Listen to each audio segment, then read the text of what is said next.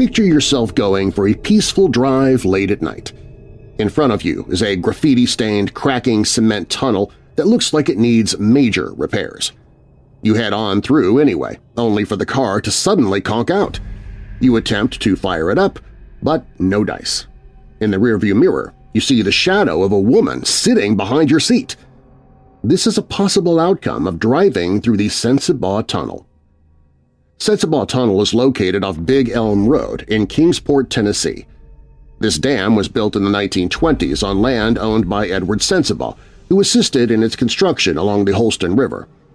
To provide for the railroad tracks of the CC&O Railroad, which ran across and over it, a hill had been blown out to make room for both the road and the tunnel. The tunnel, which is more than 12 feet tall and stretches 380 feet long, often fills up with water from the Holston River during heavy rain, resulting in a constantly wet and slippery floor. Now the facade is cracked and graffitied, with some laundry hanging outside windows on a recent weeknight. Right up the road is one of the 10 most haunted places in Tennessee and a nationally recognized urban legend, the Sensabaugh Tunnel. The legend goes that Edward was a good Christian man who opened his home to a homeless man, but he did not anticipate that the homeless man was also a thief. The homeless man pocketed what money and jewelry he could find. When Edward caught him, he pulled a gun on the man, but that wasn't enough to stop the thief. The homeless man took Edward's baby daughter hostage as he ran away from the house. The homeless man fled, but he was not going to be able to keep the toddler, especially with Edward right behind him. As he came to the Sensabaugh Tunnel, he saw an opportunity and released the baby to distract Edward, allowing him to escape into the darkness.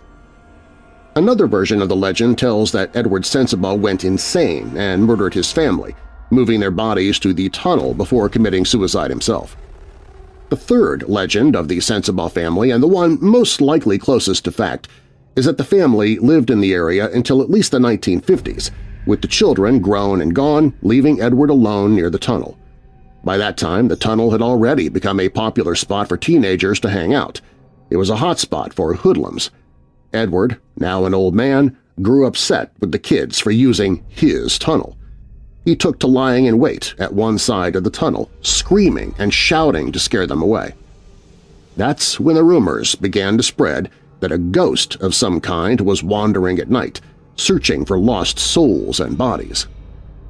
Another story that a woman was driving home from work one night during a thunderstorm when her car died as she arrived at the Sensabaugh Tunnel. She set out to the Sensabaugh residence but never arrived. The last legend tells of a young pregnant woman who was run out from her home. As she walked up to the tunnel, she yelled for help, but no one came. In that tunnel, she and her baby lost their lives together.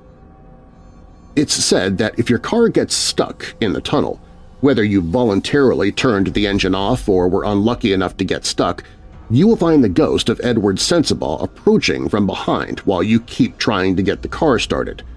The car will start back up just as he's about to reach you. People who have been stuck in the tunnel have reported hearing Edward's footsteps and seeing a woman's shadow in their back seat at times. Some have even reported seeing her in the rearview mirror despite never getting stuck in the tunnel. Next, the wails of a newborn.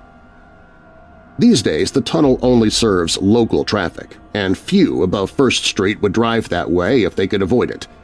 If you're ever in the area, check it out and see for yourself whether or not the legends hold some truth.